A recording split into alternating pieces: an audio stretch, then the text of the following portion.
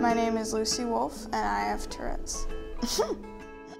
when I was 14, I started showing symptoms of Tourette's. Different doctors thought it was, I don't know, anxiety, or uh, some thought it was partial seizures, um, and others thought it was just something psychological.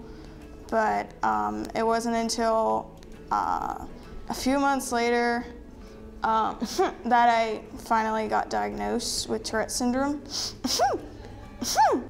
I think that more medical professionals need to know about Tourette's because uh, even after a hospital visit and having a whole team of different doctors trying to figure out what was wrong with me, and none of them none of them could figure out what was wrong with me, and even the neurologist ruled out Tourette's. I, I don't think he knew what Tourette's really was.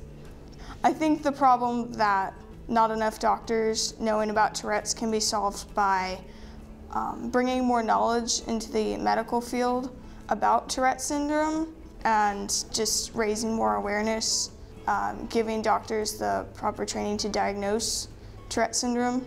The first step in solving any problem is uh, getting other people to know about the problem.